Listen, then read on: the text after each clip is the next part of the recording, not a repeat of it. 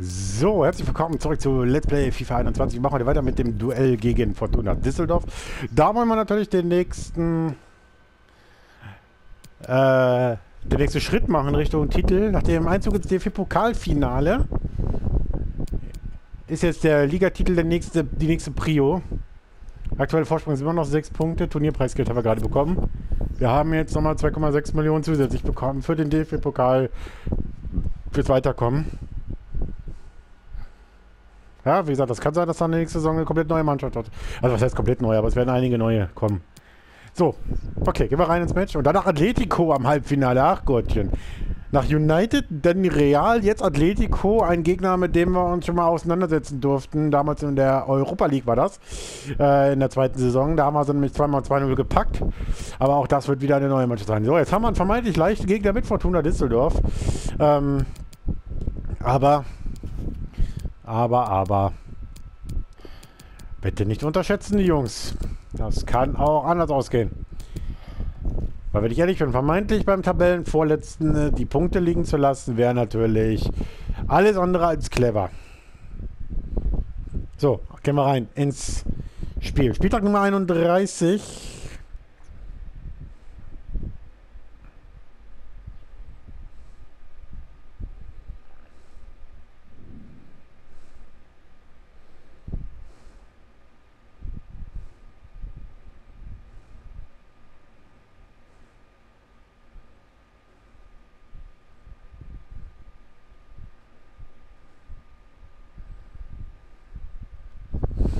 Gut. Ja, wie gesagt, Fortuna Düsseldorf, das wollen wir heute packen, aber das hinkriegen wissen wir noch nicht. einer der interessantesten Spieler sein. Denn er hat das Karriereende angekündigt und darf in der Startelf ran. Bleiben Sie dran, wir zeigen es Ihnen live bei EA Sports. Ja, vor, wie gesagt, Heimspiel, vermeintlich ein schwacher Gegner mit dem Tabellen 17. Drei Spieltage oder vier Spieltage vor Schluss, hier die drei Punkte zuzumachen, den sechs Punkte Vorsprung auf Dortmund zu halten. Das wäre das. Aber wie gesagt, es kann alles anders auch ausgehen. Wir haben es gegen Freiburg gesehen, äh, wie schnell das in die andere Richtung gehen kann. Wir haben es gestern in Frankfurt gesehen, da kann das auch, auch da, wenn ein Gegner richtig drauf geht, haben wir unsere Probleme. Aber wie gesagt, Düsseldorf ist abgestiegen. Die haben nichts mehr zu verlieren. Die können uns alles versauen. Oder zumindest einen Teil versauen. Aber das wollen wir heute verhindern.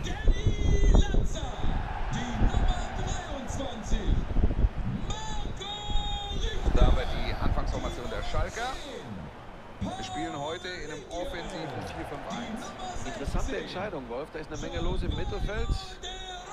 Da brauchst du gute Leute, da brauchst du Laufbereitschaft und Flexibilität.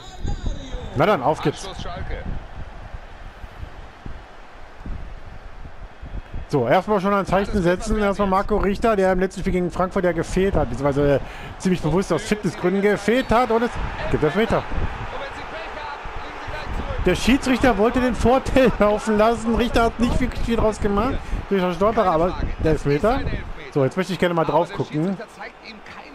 Klarer Elfmeter als das, was äh, Ludwig gegen Frankfurt fabriziert hat. Und jetzt hast du eine Chance durch Alario.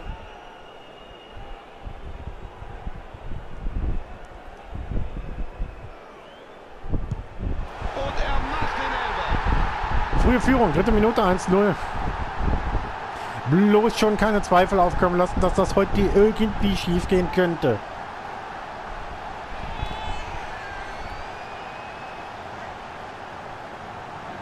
Er verwandelt den Elfmeter. Überhaupt kein Problem. Nervenstark. Die nötige Technik ist da. Passt.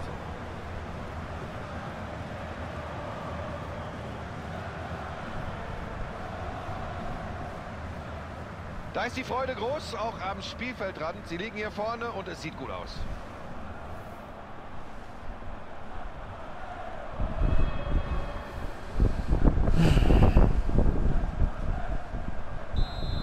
So, auf geht's. Also, also dritte Minute, Alario.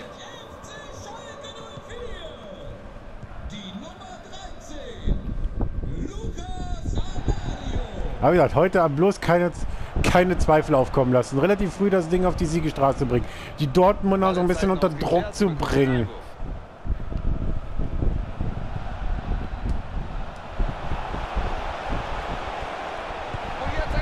Und der Chance für Fortuna Düsseldorf nach neun Minuten. Ja, ja. Da steht noch ein Gegner auf dem Platz. Der möchte natürlich ähm, sich mit Würde verabschieden aus der Liga, ganz klar. Wie gesagt, die sind komplett befreit. Die haben, der Abstieg steht nun mal unter Dach, ist wahrscheinlich unter Dach und Fach. Ich glaube, jetzt haben sie neun Punkte Rückstand. Ja, das könnte heute durchaus durch sein. Obwohl, so ganz durch ist es noch nicht. Aber wie gesagt, die Düsseldorfer haben nichts zu verlieren. Er.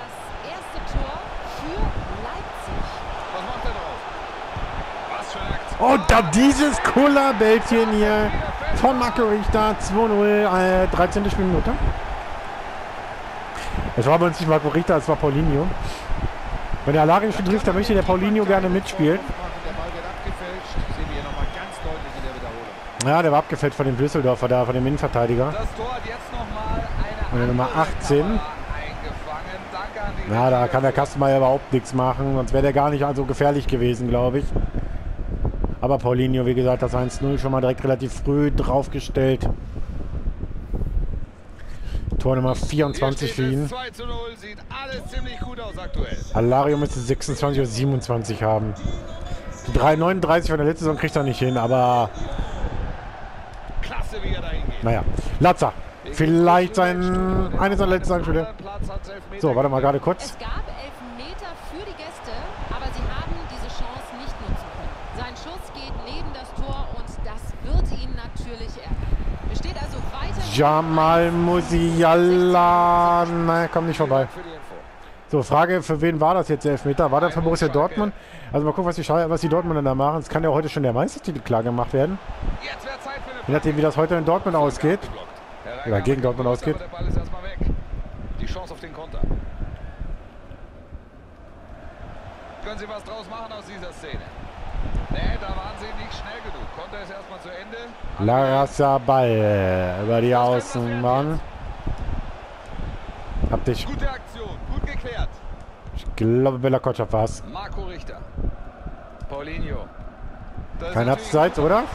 Geht Doch. Abseits. Da läuft er einen Moment zu früh los. Mit Platz 1 momentan ist das eine überragende Saison. Kein Wunder also, dass sie auch voller Selbstvertrauen auftreten. Das passt einfach. Sie treten auf wie ein echter Tabellenführer. Ja. Und es geht mit Abstoß weiter. ja, sagen wir mal so, wir kriegen momentan auch selbst die Spiele, wo wir extrem Gegenwind bekommen. Wie gesagt, gegen Freiburg in Frankfurt haben wir extremst Gegenwind bekommen. Da war der Gegner relativ stark dabei, aber die Aufgaben haben wir bisher gelöst. So schade das auch ist. Er hat sich entschieden. Ja, und da ist der Manager äh, nicht zu beneiden, wenn er adäquaten Ersatz finden will. Wie soll das gehen? Den kannst du nicht ersetzen, Wolf. Ganz So, Richter. Mann, nicht nur spielerisch, auch fürs Da ist die Chance. Richter! Das ist noch gefährlich.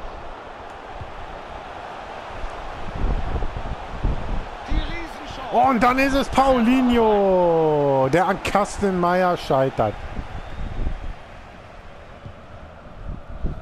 Ah, schön.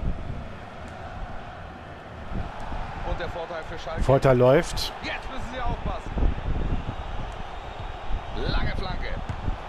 Und Kastenmeier stellt den Fuß ganz goldrichtig hin, dass der Alari, der Paulinho den Ball nicht da reindrücken kann. Die war unfassbar. Sie sind heute einfach sehr offensiv stark. Immer wieder tolle Möglichkeiten. Und dann brauchst du eben auch Gute Chance. Und das ist es jetzt. Alario 3-0, 41. ja.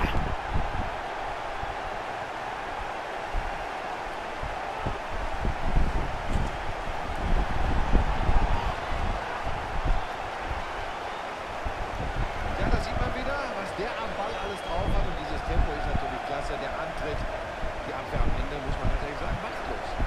Nochmal der Treffer. Diesmal aus einer anderen Perspektive. 29 hat er. Also schon 39, ein das wird verdammt eng werden. Mit noch So 10 ein Toren, die er erzielen der muss. Aber wie gesagt, mal gucken. Es sind dann aber nur noch drei Spieler. Der muss drei bis vier Tore pro Spiel machen, um das irgendwie nochmal hinzubekommen heute. Da. Wir haben hier das erste Tor für Hertha BSC. Der neue Spielstand damit 1 zu 1. Gespielt sind 42 Minuten. Danke für das Update. Oh, den kann er überlaufen, oder? Kann er den überlaufen? Nee, kann er nicht. Noch Nachspielzeit, dann ist hier Schluss. Sobotka. Aber erstmal wichtig, Die Vorwärtsbewegung jetzt. in der ersten Halbzeit keinen Zweifel aufkommen lassen, was die... Da dass wir Düsseldorf hier heute irgendwas mitnehmen könnte, sich da irgendwie retten könnte. Und mit diesem Sieg wäre der Abstieg für die Fortuna auch besiegelt. Aber wie gesagt, es sind noch 45 Minuten zu gehen. Es kann noch ein bisschen was passieren. Wir haben schon Spiele erlebt, da war alles möglich. Aber mal gucken. Also Dortmund führt uns in Köln mit 1 zu 0. Das ist mal der kurze Zwischenstand. Wir führen 3-0. Es wird also spannend. Die zweite Hälfte läuft und sie gehen mit einer beruhigenden Führung in die zweiten 45 Und danach ist erstmal noch Champions League Halbfinale, nämlich Hinspiel gegen Atletico. Frage, dürfen wir zum ersten Mal auswärts hier am Anfang mit drin? Oder muss, müssen wir wie gegen United und auch gegen ähm,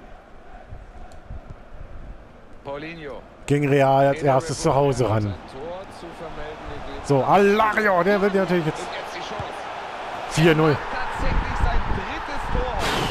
Stellt auf 30. Dafür, dass er eigentlich so eine wirkliche Durstphase hatte, wo er eigentlich drei, vier Spiele, glaube ich, gar nicht getroffen hat und überhaupt nicht hinbekommen hat, läuft es jetzt gerade so ein bisschen wieder für ihn. Eigentlich war Paulinho schon ein bisschen weg von ihm, aber... Tor Nummer drei. Alle machtlos. Und damit haben wir auch in der vierten Saison hintereinander weg unseren besten Stürmer über 30. Ich glaube, im ersten war es, in der ersten Saison war es, glaube ich, Kobylanski mit kann wirklich 34, hochzufrieden zweites Spiel weiß ich, Terodde, glaube ich, mit über eingestellt 30, ich glaube 32 auch, 33, irgendwie sowas. Letzte Saison Alario 39, jetzt Alario wieder 30, also das läuft gerade so ein bisschen. Also unsere Offensive, ich glaube, mit den Stürmern hat er echt viel Glück bisher. Paulinho.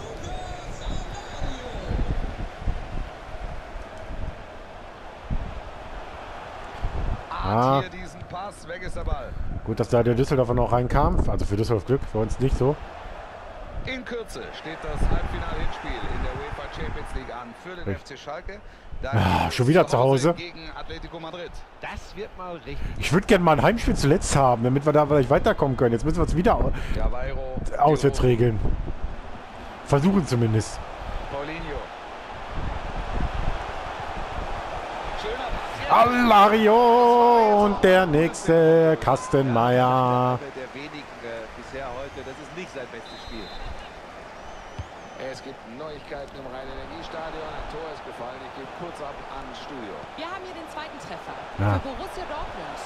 Der neue Spielstand heißt nun 2 zu 0. Gefährlich jetzt. Und ich glaube, damit ist die Gefahr jetzt erstmal bereinigt. Ja. Wenn es jetzt schnell geht, dann wird es gefährlich. Also Dortmund für 2-0 in Köln. Das haben wir gerade noch reinbekommen, das Ergebnis. Okay, dann bleibt es also, wird es heute definitiv vertagt. Der Konter war Weltklasse, der Abschluss eher nicht. Nee, Wolf. Und jetzt werden sie sich natürlich ärgern. Das war eine richtig gute Chance. Die Nummer 19, Emanuel Ior. Neu in der In Partie. der Bundesliga geht es für die Gäste wie folgt weiter. Ja, Ballverlust.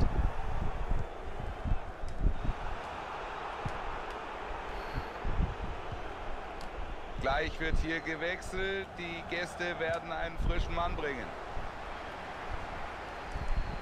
Im Rhein-Energiestadion hat sich was Alario. Tor ist gefallen. Im Studio gibt es jetzt Alario, Alario, Tor. Ein unfassbares Tor. Tor Nummer 31. Na, so viel zum Thema, er schafft vielleicht nicht die 3, 39 oder mehr. Mal gucken. Schauen wir uns die Entstehung dieses Treffers nochmal an. Erst kommt der gute Pass. Da ist er einfach gedankenschneller als die Verteidigung.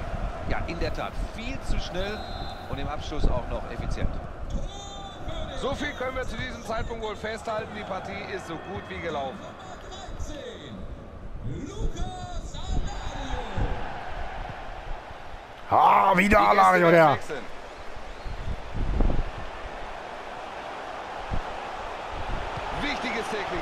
Ah, der kommt für den Tempo von der Spritze, äh, von der Dings nicht rein. Gut den Ball geholt. Jetzt können sie angreifen. Klasse Pass. Kein guter Schuss. Schade. Den hätte ich gerne auch mit reingelegt da vorne. Ja, umso mehr Tore er natürlich heute schießt, umso besser ist es.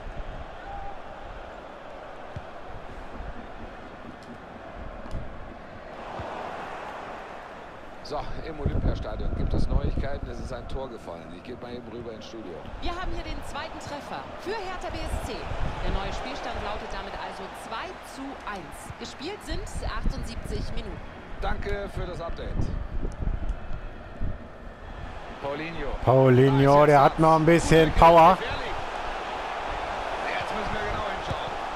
Hat gefälscht und drin das Ding. Liga hat den Ball noch abgefälscht. 6 zu 0, Marco Richter.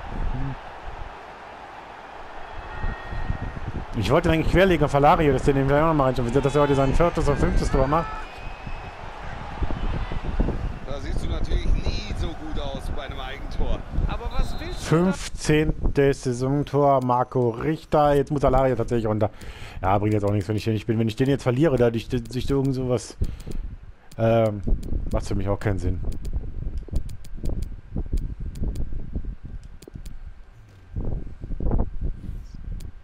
mal machen? Du willst ja irgendwie das Gegentor verhindern und dann passiert's. Der zweite und so, der abgefälscht rein tro- tropft. Und jetzt sind noch acht Minuten zu spielen. Jetzt wechselt der Alario, jetzt wechselt tatsächlich Alario mal raus. Ball ist wieder weg.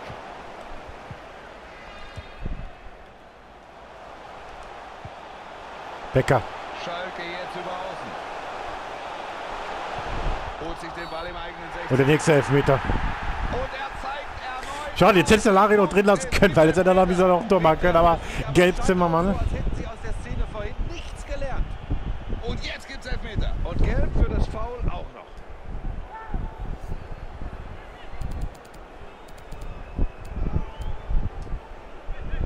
So, Timo Becker.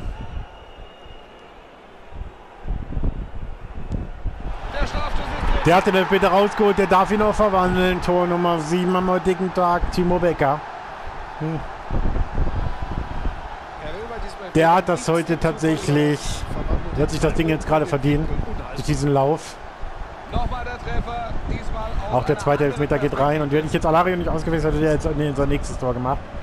Chance, keine Chance für Kastenmeier.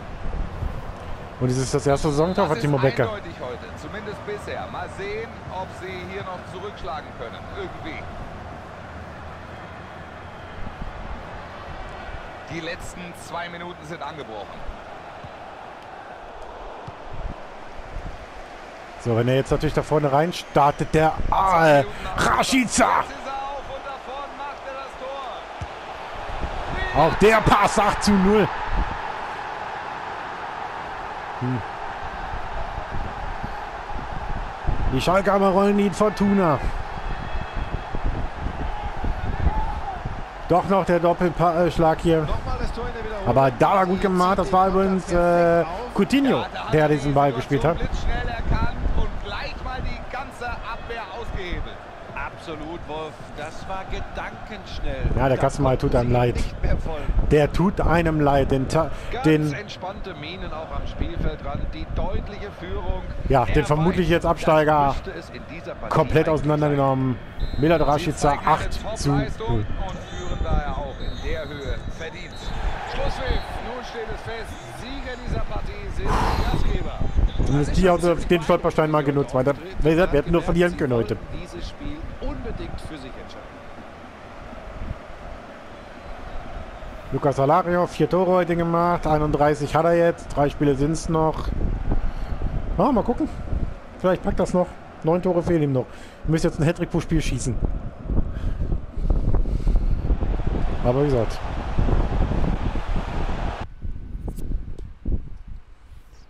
Mal schauen. So.